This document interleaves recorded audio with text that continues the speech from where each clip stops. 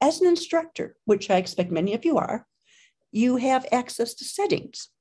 Settings gives you the opportunity to um, more specifically curate the experience that your students are going to have. Uh, you can allow reactions, which I will go into further later.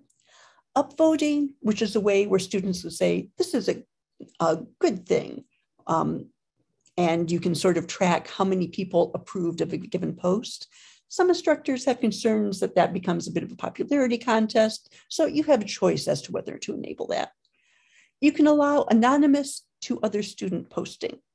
Um, a, an instructor can see who posts anything anywhere within conversations.